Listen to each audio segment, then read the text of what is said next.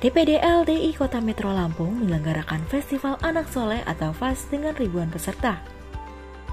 Acara yang berlangsung pada Kamis 6 Juli 2023 ini diikuti peserta usia taman kanak-kanak hingga sekolah dasar. Dalam kesempatan tersebut, Kepala Kantor Kementerian Agama Kota Metro Lampung yang diwakili oleh Kepala Seksi Pendidikan Agama dan Keagamaan Islam Muhammad Tohir mengatakan, Festival seperti ini menjadi salah satu ajang untuk mengevaluasi kegiatan pengajian. Mendapatkan prestasi atau yang belum saling evaluasi, oh, berarti kalau saya hari ini belum dapat apa, belum dapat prestasi, berarti harus saya tingkatkan. Kalau tahun ini saya belum juara umum, tahun depan saya yang juara umum.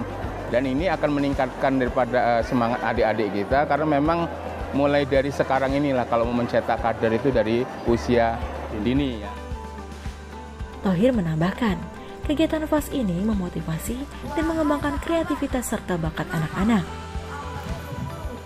Perwakilan Kemenak Metro Lampung itu juga mengatakan, melalui kegiatan tersebut, generasi muda LDI Metro diharapkan memiliki karakter yang unggul, saleh dan saleha. FAS ini juga menjadi ajang silaturahim bagi orang tua maupun anak-anak, sekaligus ajang menampilkan kemampuan anak-anak setelah melakukan rutinitas mengaji di masjid. LDI Kota Metro Lampung berharap festival ini bertujuan untuk mewujudkan generasi penerus yang memiliki pengetahuan agama yang baik, berakhlakul karimah, dan mandiri.